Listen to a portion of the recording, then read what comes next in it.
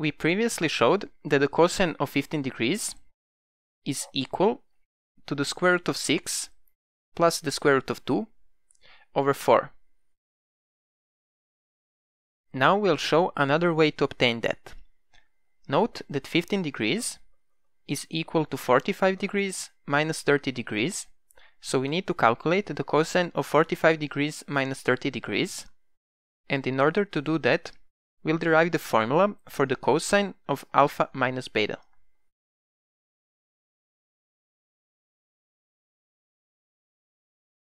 Now, for any angle theta, the sine of theta is equal to the cosine of 90 degrees minus theta, and the cosine of theta is equal to the sine of 90 degrees minus theta.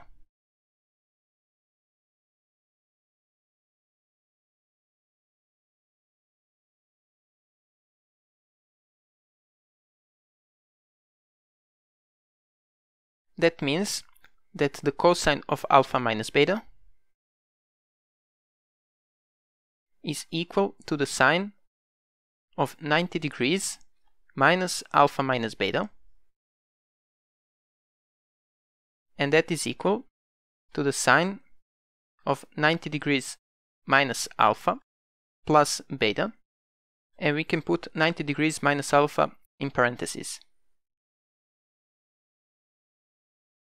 But we know the formula for this from previous video, so this is equal to the sine of 90 degrees minus alpha times the cosine of beta plus the cosine of 90 degrees minus alpha times the sine of beta. And what are the sine and the cosine of 90 degrees minus alpha?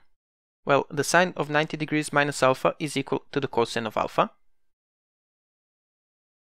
So this is equal to the cosine of alpha times the cosine of beta. And the cosine of 90 degrees minus alpha is equal to the sine of alpha. So this is equal to the sine of alpha times the sine of beta.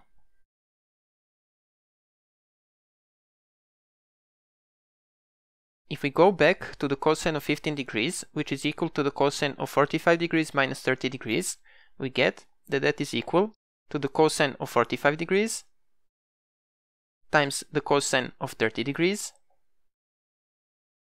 plus the sine of 45 degrees times the sine of 30 degrees. But that is equal to the square root of 2 over 2 times the square root of 3 over 2 plus the square root of 2 over 2 times 1 over 2 and that is equal to the square root of 6 plus the square root of 2 over 4.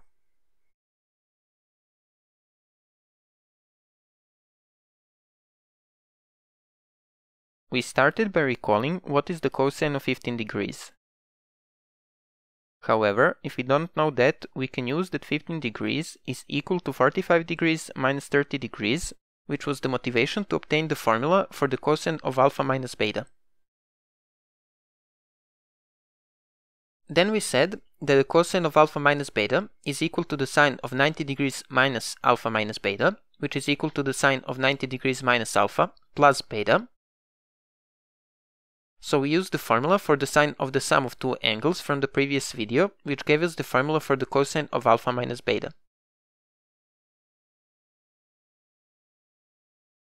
Finally, by putting 45 degrees and 30 degrees into that formula, we got that the cosine of 15 degrees is equal to the square root of 6 plus the square root of 2 over 4.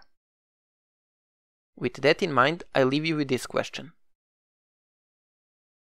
Are there angles alpha and beta such that the sine of alpha times the sine of beta plus the cosine of alpha times the cosine of beta is equal to the square root of 2? That is all for this video. If you liked it, click the like button, it helps with the YouTube algorithm and I'll see you next time.